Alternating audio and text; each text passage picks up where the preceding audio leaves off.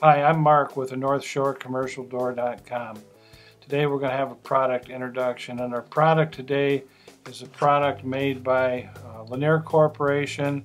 It is a replacement transmitter for the old Pulsar um, Allister and Allstar lines. It's in a uh, 318 megahertz and it actually has two part numbers. It has a part number of 190-109-372 and it's also known as an 8833T-OCS.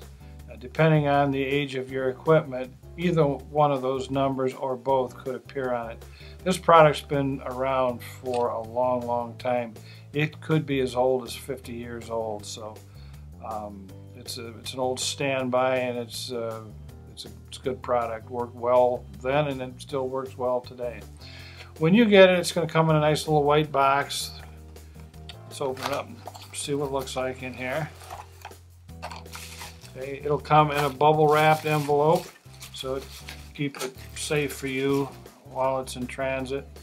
Here's the transmitter itself. It's got three buttons and there's a stencil above it it'll say open, close, and stop. So this transmitter is designed to operate a commercial door that has the open, close, and stop function. It comes also with a visor clip that you can clip on to the back.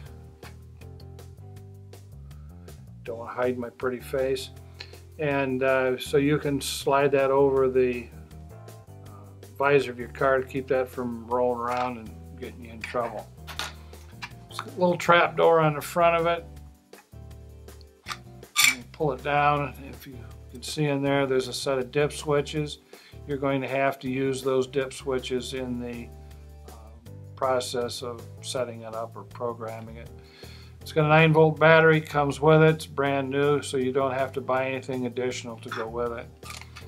Now the most important part of the whole project right here is, is the directions.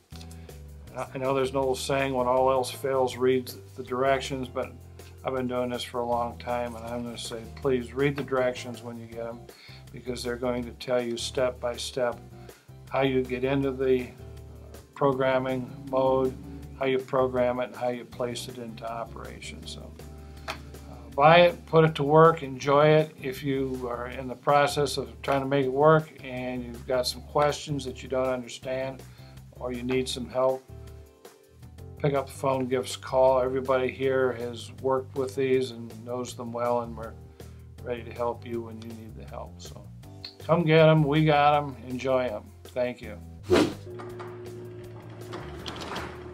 Thank you for watching this video from NorthshoreCommercialDoor.com. Please subscribe to our channel so we can continue to make content like this. Thank you.